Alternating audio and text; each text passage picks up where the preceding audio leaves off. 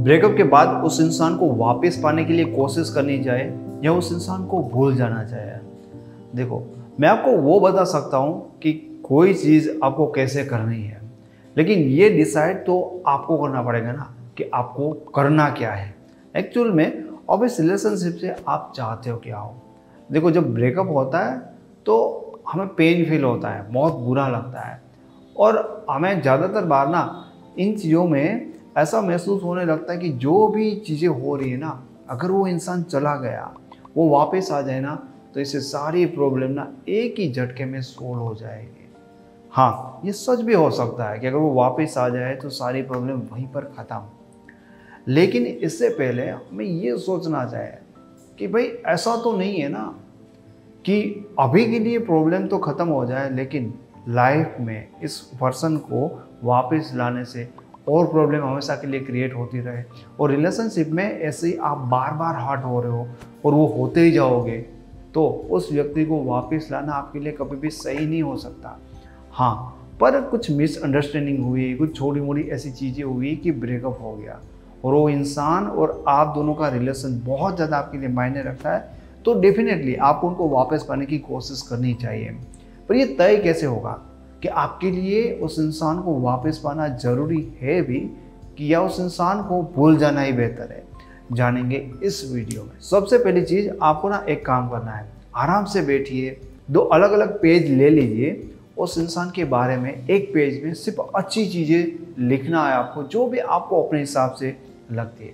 इसको प्रैक्टिकली आपको करना होगा, तब ना बेटरली आपको समझ में आए। आराम से बैठिए। सोचिए कि उस इंसान में क्या अच्छी चीज़ें है। और उनको लिखते जाइए। अब आपको लगता है कि आपने ऑलमोस्ट उनके बारे में सब अच्छी बातें लिख दी तो दूसरा पेज लीजिए और उनके बारे में जो भी आपको गलत चीज़ें मतलब गलत मीन्स की जो भी आपको पसंद ना हो और जो भी आपको लगता है कि उस इंसान ने इस रिलेशनशिप में जो सही नहीं किया, उन चीज़ों के बारे में लिखिए। और जब आपको लगे कि अपने दोनों चीज़ों को जितना आप जानते हैं, जितना आपके मन में है आपने लिख दिया है तो दोनों को सामने रखो और देखो कि किस चीज़ में ना ज़्यादा वज़न है? उनकी अच्छाइयाँ बहुत ज़्यादा है या उनकी ऐसी चीज़ें जो आपको नहीं पसंद है, जो चीज़ें नेगेटिव है, जो चीज़ें उस पर्सन में एक माइनस पॉइंट दिखाती है। देखो, ये चीज़ तो है कि कोई भी इंसान परफेक्ट नहीं होगा, उसमें अच्छी बातें भी होगी और डेफिनेटली बुरी बातें भी होगी। लेकिन बहुत बड़ा डिफरेंट तो नहीं है ना। अगर चीज़ें दोनों एक साथ है तो भी इतनी प्रॉब्लम नहीं है। लेकिन अगर तुम देखते हो कि उसमें बहुत अच्छी चीज़ें बस कुछ चीज़ें हैं, वो सही नहीं तो ये रिलेशन इम्पोर्टेंट है आपकी। पर ऐसा है कि गलतियाँ ही गलतियाँ हैं। अच्छी बातें तो सिर्फ़ दो है। तो वो पर्सन के लिए आपके इतने एफर्ट अब नहीं बनते। जस्ट एक बात से हम ये डिसाइड नहीं करने वाले। और भी चीज़ें हैं जिसके बारे में आपको सोचना चाहिए। जैसे कि आप उसकी गलती को उस लिए तो माफ़ नहीं कर रहे हो ना, क्योंकि आप उनको प्यार कर रहे हो। ये दूसरी बात को ना आप थोड़ा सा अलग तरह से सोचना इस चीज़ को लिखने के बाद ये दूसरी बात आराम से बैठ कर सोचना कि जो अभी कुछ हुआ है या जो चीज़ भी है, उसने कुछ गलत किया है। तो आप माफ़ करने के लिए रेडी हो, शायद आप माफ़ कर पा रहे हो, लेकिन क्या उस इंसान को अगर आप प्यार नहीं करते या कोई और पर्सन होता है, तब इस गलती को आप माफ़ कर पाते तो आप और लोगों की, यानी कि अपने फ्रेंड्स की या और जो रिलेशन है उस रिलेशन में इस गलती को एक्सेप्ट नहीं करते तो स्पेशली इस पर्सन की गलती को आपको एक्सेप्ट नहीं करना चाहिए क्योंकि क्या होता है ना, जिससे आप प्यार करते हो ना कई बार उनकी बहुत बड़ी गलती को भी आप माफ़ कर देते हो। तो ये चीज़ थोड़ी सी सोच लेनी चाहिए कि इतनी बड़ी प्रॉब्लम जस्ट इसलिए तो माफ़ नहीं हो रही ना कि मैं उसको बहुत प्यार कर रहा हूँ। क्योंकि आज अगर आप माफ़ कर भी दोगे तो याद रखना ये गलती रिपीट होगी। एंड डेफिनेटली आप उनकी गलती को माफ़ करके उनको एक सर्टिफिकेट दे रहे हो कि तुम मेरे साथ ये गलती कर रहे हो। और उस पर्सन को पता है कि मैंने पहले भी इसको साथ ये किया था और उसने आसानी से माफ़ कर दिया। तो अब वो इंसान क्या कर लेगा? तीसरी चीज़ थोड़ा सा सोचिए कि उस इंसान के लिए आपके साथ बने हुए इस रिलेशनशिप का क्या मतलब है? उनके लिए आप और आपके साथ बने रिलेशन क्या मायने रखता है?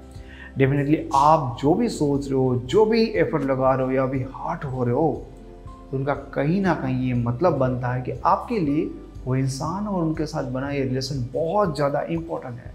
पर उसके लिए क्या है? समझो, ऐसा तो नहीं होना चाहिए ना कि चीज़ें एक तरफी हो। ऐसा तो नहीं होना चाहिए ना कि रिलेशनशिप में कोई बैलेंस ही ना हो। हाँ हो सकता है कि अभी कुछ वो वैसा रिएक्ट कर रहा हो, अभी सिचुएशन सही ना हो। पर मैं ओवरऑल रिलेशन के बारे में बात कर रहा हूँ। कि जितना आपने उस इंसान को समझा है, जितना उस इंसान को आपने ऑब्ज़र्व किया है, आपको क्या लगता है कि उस इंसान के लिए आपका क्या महत्व है? इस रिलेशन का क्या इम्पोर्टेंस है? कभी उनकी एफर्टों से, उनकी बातों से, उनकी हरकतों से ऐसा लगा आपको कि रियल में आप उनके लिए कुछ मायने रखते?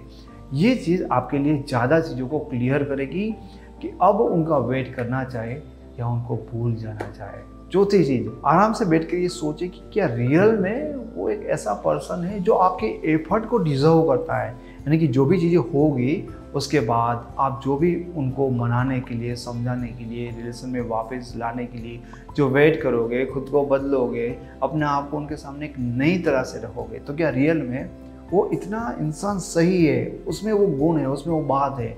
वो इंसान रियल में डिजर्व करता है। या आपको लगता है कि यार आपका प्यार शायद उस इंसान के लिए कुछ और ही था। उतना तो वो डिजर्व नहीं करता। तो थोड़ा सा देख लीजिए कि रियल में वो वाकई में आपको लगता है कि बहुत बढ़िया इंसान है तो आपके एफर्ट को डिजर्व करता है और ओवरऑल आपको इंसान सही नहीं लगता। तो उतने एफर्ट अब आपको नहीं करने चाहिए। पांचवी चीज़ जो बहुत ज़्यादा मायने रखती है कि अब तक इस रिश्ते में क्या हुआ?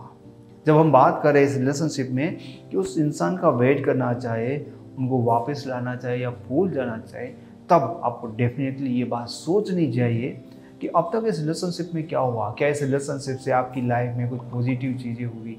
क्या इस रिलेशनशिप से आपकी लाइफ में कुछ अच्छी चीज़ें आई? या इस रिलेशनशिप से आपको जस्ट दुख मिला, पेन ही मिला? इस रिलेशनशिप में आने के बाद आप हर्ट हो रहे हो।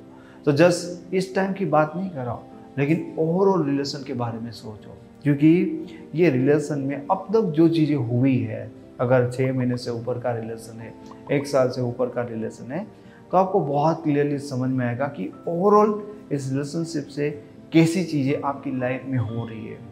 तो इसके चांसेस बहुत ज़्यादा रहता है कि भले उतनी ही ना हो, लेकिन कुछ इस हिसाब से चीज़ें आगे भी जाएगी। अगर बहुत अच्छी चीज़ें ओवरऑल रही है तो इस रिलेशन का प्रभाव आपकी लाइफ में अच्छा रहेगा। बस रिलेशन के कारण आपकी लाइफ में बहुत ज़्यादा पेन ही मिला है आपको तो पॉसिबिलिटी है कि आगे ये रिलेशन भी आपको खुशी नहीं दे पाएगा। दोस्तों, मैं उम्मीद करता हूँ कि आपको वीडियो अच्छा लगा होगा। वीडियो अच्छा लगा तो इसे लाइक करें और ऐसे वीडियो को देखने के लिए चैनल को अपने में सब्सक्राइब करें। Thank you so much